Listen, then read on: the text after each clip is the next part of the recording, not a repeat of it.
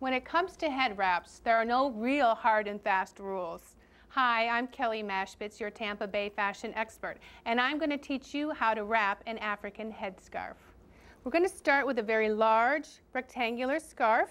This one is a cotton blend.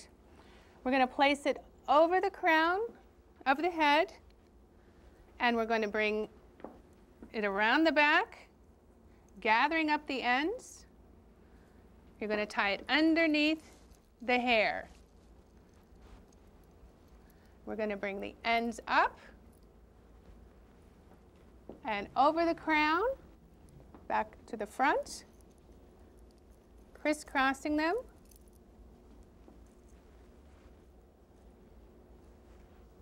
And then we're going to take the ends back around and secure on the side and a nice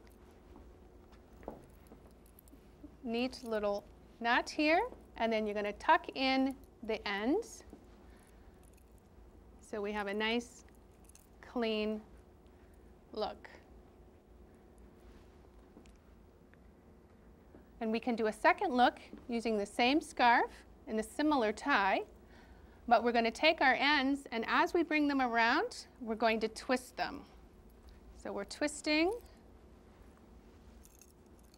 twisting, getting a nice tight coil, and we can wrap that around the crown.